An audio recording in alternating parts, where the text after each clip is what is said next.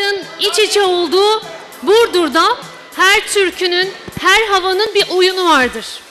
İstiklal şairimiz Mehmet Akif Ersoy'un milletvekili olarak temsilciliğini yapmasıyla da ayrı bir değer aslında kazanmaktadır Burdur.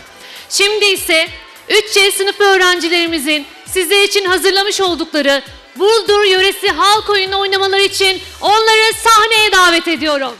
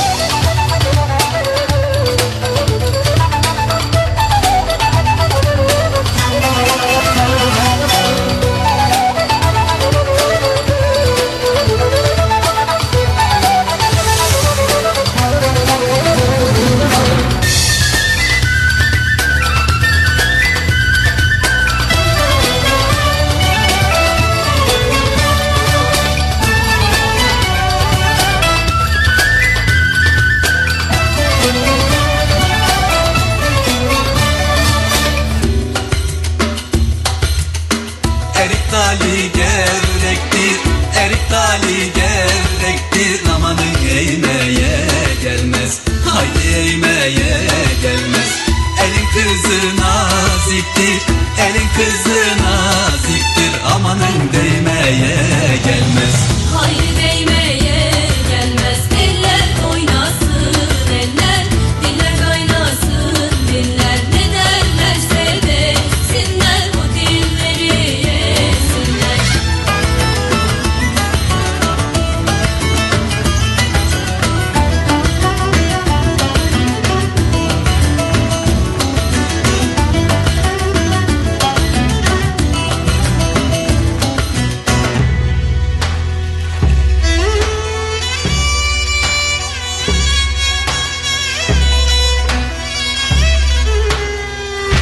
Adını da sevdiğimin avşar beyleri